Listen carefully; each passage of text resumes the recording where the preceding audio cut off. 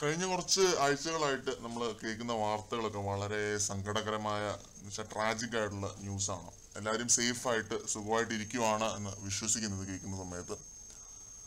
അപ്പോൾ ഞാൻ ഇപ്പോൾ ഇങ്ങനെ ഒരു വീഡിയോ ഇടാനായിട്ട് കാരണം നമ്മുടെ കമലഹാസൻ തമിഴ് ബിഗ് ബോസിന്റെ ഹോസ്റ്റ് ഒരു പോസ്റ്റ് പങ്കുവച്ചിട്ടുണ്ടായിരുന്നു ഇൻസ്റ്റഗ്രാമിൽ അദ്ദേഹം ഇനി ബിഗ് ബോസ് തമിഴ് ഹോസ്റ്റ് ചെയ്യില്ല എന്നതാണ് അതിന്റെ അത് മെയിനായിട്ടും എഴുതിയിരിക്കുന്ന ഒരു സംഭവം. ഈ ഒരു തീരുമാനത്തെ ഞാൻ ഇങ്ങനെ നോക്കിക്കാണുന്നു എന്ന് ചോദിച്ചു കഴിഞ്ഞാൽ സി ഇപ്പം അദ്ദേഹത്തിന്റെ ഇന്ത്യൻ ടു എന്ന് പറയുന്ന ഒരു സിനിമ കഴിഞ്ഞ ദിവസം ഒ ടി ടി റിലീസ് ആയിട്ടുണ്ടായിരുന്നു. അത് കഴിഞ്ഞിട്ട് തമിഴിലും മലയാളത്തിലും ഒക്കെ ആയിട്ട് വരുന്ന കോണ്ടന്റുകളും ട്രോളുകളും ഒക്കെ നിങ്ങൾ എല്ലാവരും കണ്ടിട്ടുണ്ടാവും. മീം ഫെസ്റ്റ് എന്ന് പറഞ്ഞു കഴിഞ്ഞാൽ അതാണ്.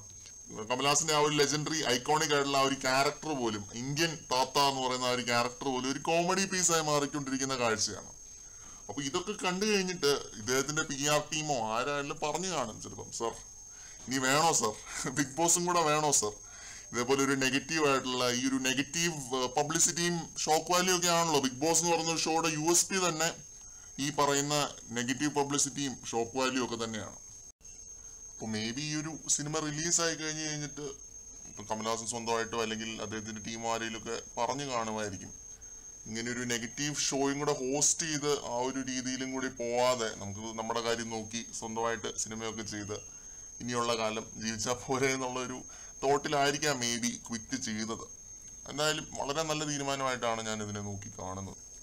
അപ്പോൾ ചിലപ്പോൾ അതായിരിക്കാം ആ ഒരു ഇന്ത്യൻ ടു എന്ന് പറയുന്ന സിനിമ ഇദ്ദേഹത്തിന്റെ ഈ ഒരു തീരുമാനത്തെ ഇൻഫ്ലുവൻസ് ചെയ്തിട്ടുണ്ടോ എന്നൊക്കെ ചോദിച്ചു കഴിഞ്ഞാൽ എനിക്ക് അറിയത്തില്ല മേ ബി കാണുമായിരിക്കുമെന്നാണ് ഞാൻ വിശ്വസിക്കാൻ വിശ്വസിക്കുന്നത്.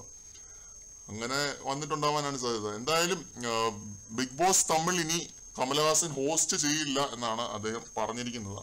വളരെ നല്ല തീരുമാനമാണ്. ഇപ്പം O T T O T ടിയുടെ ഒരു സീസൺ നമ്മുടെ Simbu Silambarasan T R host ചെയ്തു. അതേപോലെ ഹിന്ദിയിൽ അനിൽ കപൂർ ഹോസ്റ്റ് ചെയ്തിട്ടുണ്ടായിരുന്നു ഒരു സീസൺ ഒ ടി ടി മലയാളത്തിൽ മാറണം എന്ന് തന്നെയാണ് എന്റെ അഭിപ്രായം. ലാലേട്ടം മാറി വേറെ ആരെങ്കിലും വരണം.